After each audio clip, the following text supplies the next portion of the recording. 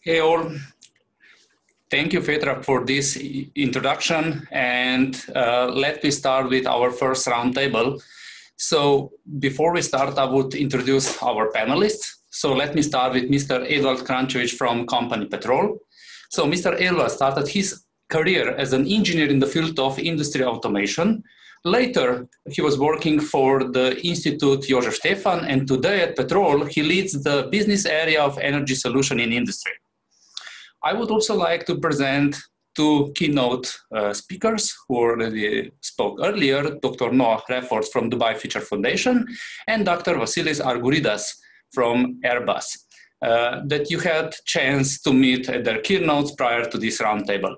So, dear audience, if you have any questions, do not hesitate to send them in the chat so our panelists may answer them at the end of the roundtable. And now let's start our world is becoming more and more urban. We live more and more on the planet of cities. For example, 56% of our population lives in urban areas today. But that's nothing compared to what will come by 2050 when this percentage will increase to almost 70%.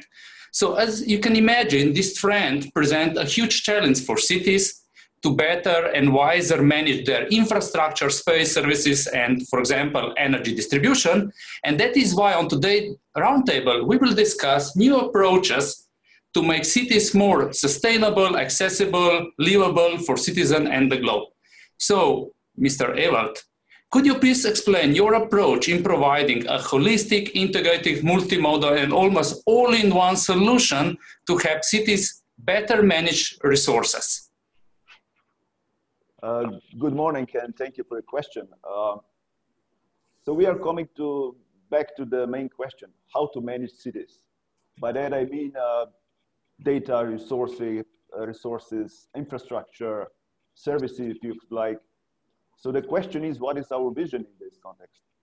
Um, all those systems are traditionally managed uh, with partial solution, or in some cases, even not managed at all. Um, and it, that, oh, this always was a challenge, uh, but we have developed uh, an answer to this challenge. So uh, an efficient, reliable data manager platform uh, with open architecture, and we are calling it Tango.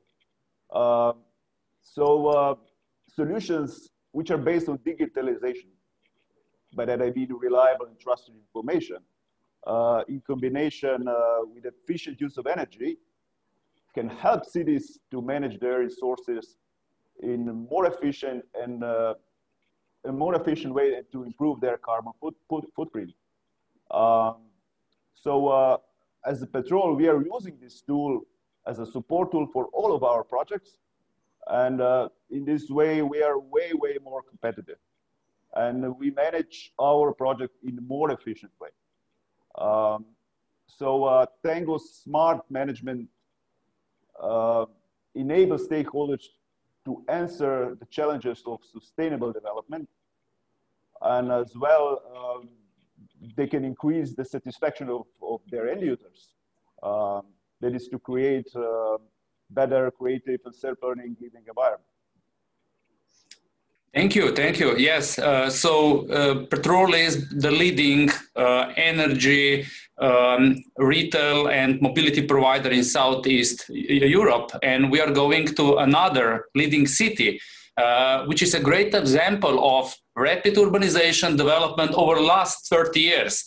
So, Dr. Noah, could you please elaborate more your approach for testing prototyping, especially pre-legal technologies before they become a reality.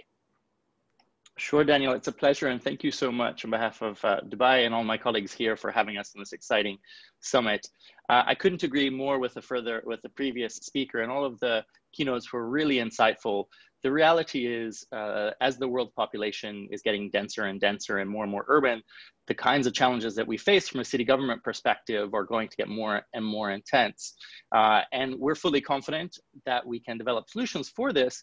But you know, one of my job titles is the futurist in chief uh, at the Dubai Future Foundation. And one of the jobs of the futurist is not just to uh, predict the car, but as they say, to also predict the traffic jam. So of course that's a metaphor, but uh, you know we can only, as we begin to explore these integrated mobility systems, we can only predict so far into the future. You know, we might be able to, for example, anticipate some of the benefits and opportunities that aerial mobility might provide. But as these things begin to interact in a more complex way, you can never predict it. So therefore, our strategy has been to focus on actual experimentation and prototyping so to learn as rapidly as possible by doing it with our partners. And we really feel that actually through action is the only way that you can gain the knowledge necessary to effectively regulate and set up a kind of learning regulatory environment that will allow you not only to handle the challenges of today, but also the secondary challenges that uh, the solutions to the problems of today present, and so on and so forth going forward. So that, that's really what's behind our approach to helping make Dubai a living lab to invite partners from around the world to test out these ideas that ultimately have people's lives at stake. It's about uh, safety, it's about security, and so therefore having a regulatory partner that can support this is, is essential in, in these sorts of pre-legal spaces, as we say. It's not technically illegal, it's just not legal yet. Oh, yeah, great. Thank you. So, from leading city to leading aerospace company, Airbus. So, Dr. Vassilis, you're working with European cities on defining the framework to make urban air mobility a reality soon. Could you please share what are the key challenges for cities in Europe? Thank you, Daniel. Yes, Airbus has been proud uh, to lead the UAM initiative of the European Innovation Partnership on Smart Cities for the last three years. And in fact, uh, we have been in the lines that uh, Noah just uh, outlined, the need to, to experiment. we need to, to use, to have the cities to become the, the real living lab as the title of your, of your summit, because there is high uncertainty here not only not that much on the actual technological front. We see more or less what it will be available. What is the rather unknown? It is how this will interact with the wider uh, urban mobility fabric. And in fact, um, as uh, we're discussing now, we are working all together to understand how we as a society collectively, we want to use this type of the technology. Uh, we want to avoid uh, a sort of technology intrusion and we can admit, I think that uh, the case of the car, it could be considered such a case and why I say that is because everybody started to use cars, uh, and now cities are taking cars out. We have seen the discussions from the city of Ljubljana, even at um, Dubai as part of the urban mobility policy. There are considerations how to do shared mobility and so on.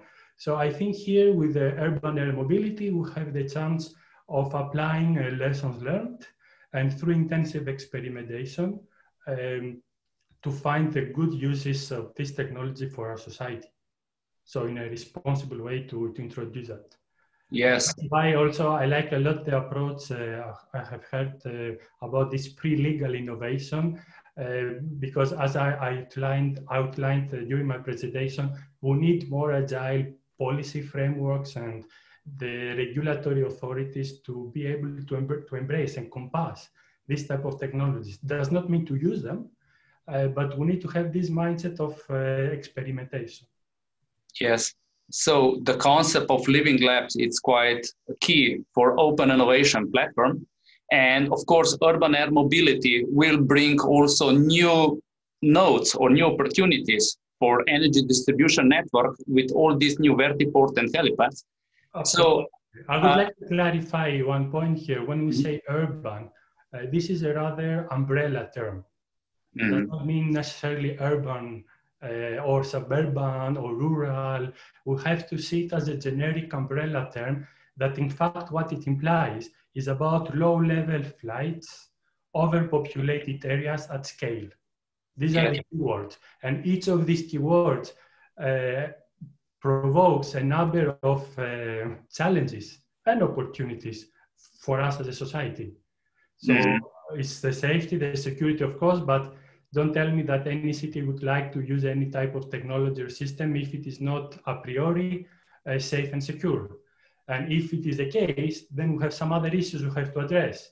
It could be the type of noise, it could be visual pollution, it could be energy mm-hmm. consumption. Mm. Then we go to real issues that relate not to the technology itself or even the usability of it, but more about its integration and acceptance from the wider society. Yes. So, uh, but uh, of course, challenges under this umbrella are quite big. So I'm going back to Mr. Evald and I want to really learn from their experience because they are managing thousands and thousands of buildings in Southeast Europe. Uh, and what are the lessons learned? So, uh, Petrol being an energy company with many years of experience on competitive regional market, uh, we are managing more than 1,300 uh, different kind of object of facilities from schools, uh, public uh, uh, buildings, district heating networks, industrial sites, sites, and um, public lighting, and, and, so on and so on. so we, we are proud to position ourselves as a market leader in Southeast Europe. Um, and our aim is to, to develop energy efficient and smart buildings. And so for the most of them, we are using Tango platform as it was described previously, as a data management platform.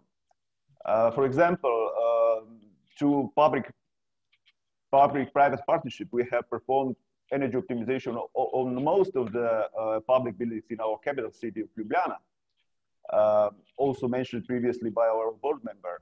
And uh, what is important here is that we, um, we are managing the entire cycle of project development, from project identification, solution development, implementation, and at the end, facility management. Mm. Uh, this is the most important part uh, because we can afford zero, zero mistakes. And that is why uh, tools such as Tango are significant for our business development. Yes, it's, it's really amazing uh, what yes, you yes, uh, what you accomplished. So just for our audience to understand, so those buildings are in in cities around, uh, let's say, Southeast Europe. And exactly. you put them together, it's quite a nice city, similar size to Dubai. So I'm going to Mr. Dr. Noah.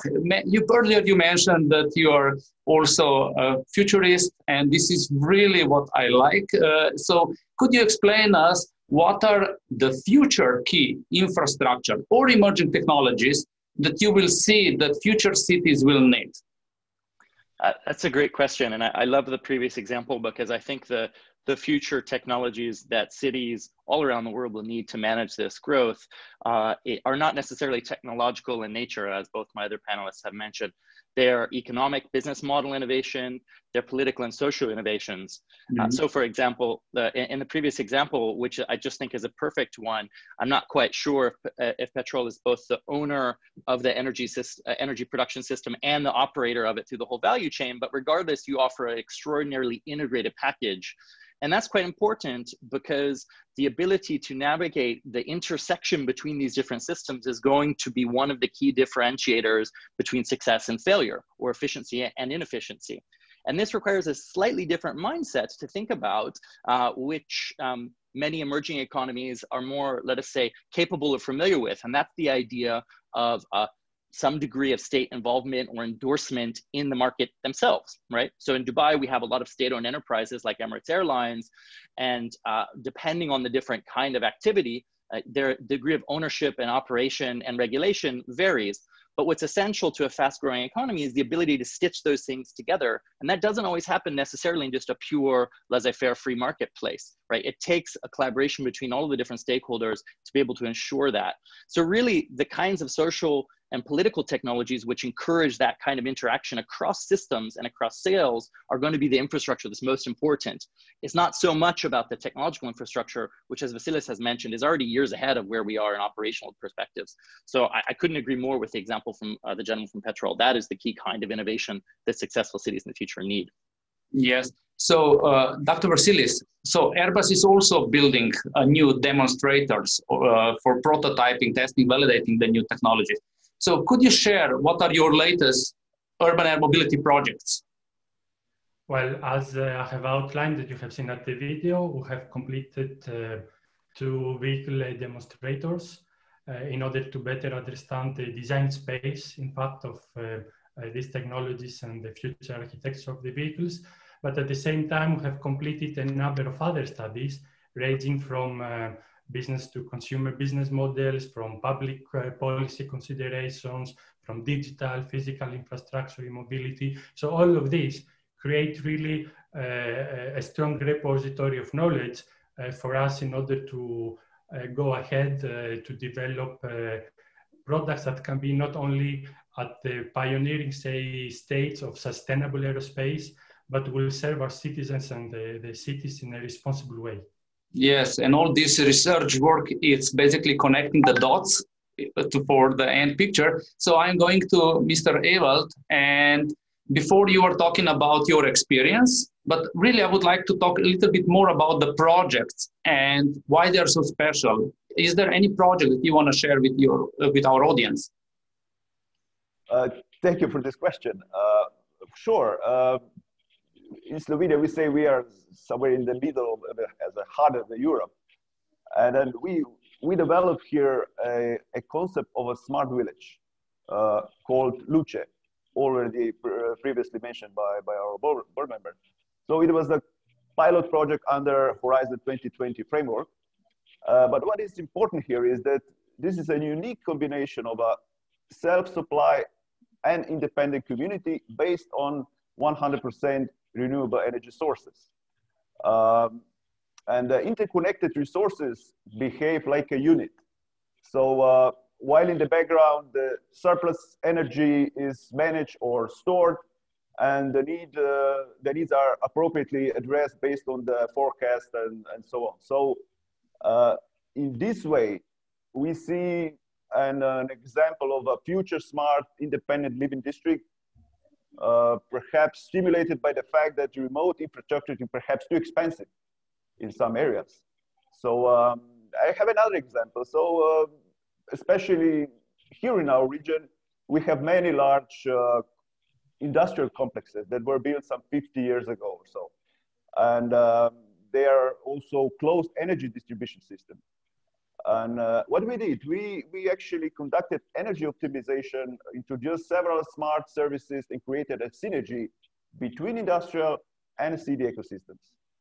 Uh, so we can, on one side, produce energy from renewables or waste heat, and then use it for mobility, heating, and so on. So such partnerships um, with large uh, uh, industrial facilities and surrounding communities can play a big role in, let's say, some future public-private partnerships and are really possible answer uh, how to create sustainable uh, future.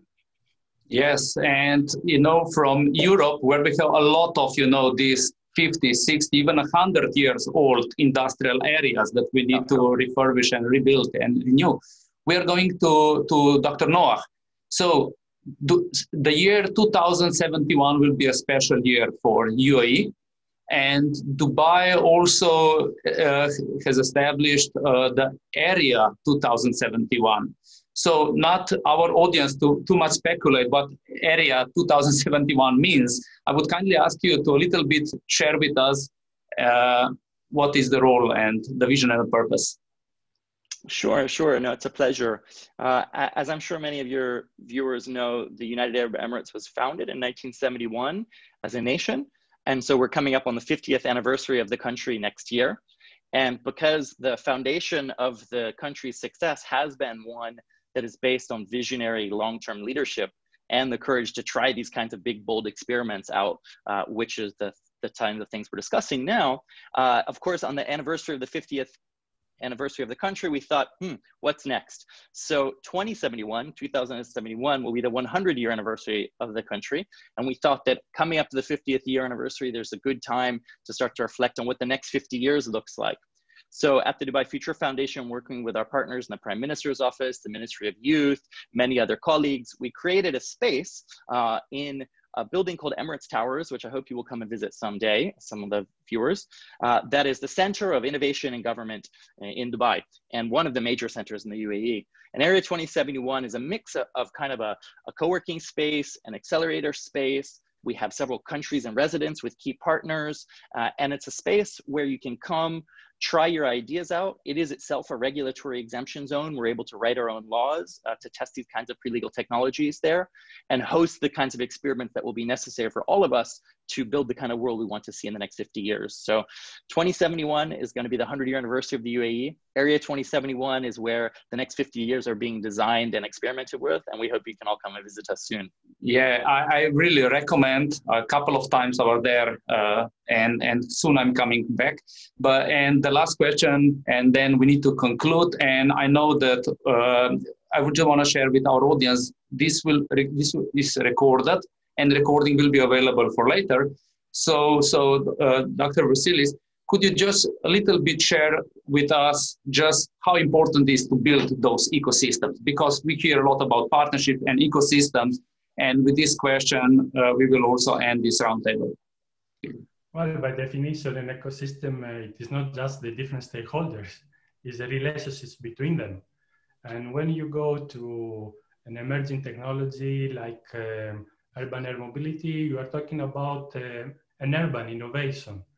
Mm. So from this perspective, uh, urban innovation and urban air mobility ecosystem has all these challenges that any uh, urban innovation has, plus that now we go to the third dimension. This by its own, uh, it is a challenge. And you have seen the uh, noticeable um, record of safety in aviation. This does not comes for free. Uh, everybody has been working hard from the industry to the regulators to, to the users. So the, the same sort of mindset needs to be uh, applied also to an urban environment where we have a lot of challenges because here, in fact, what we do, we reconsider what it means safety and security as we fly low and very close to people and over people. So that's why we need to have this orchestrated uh, approach between uh, the different stakeholders in order to address the interest and conflicts of each one.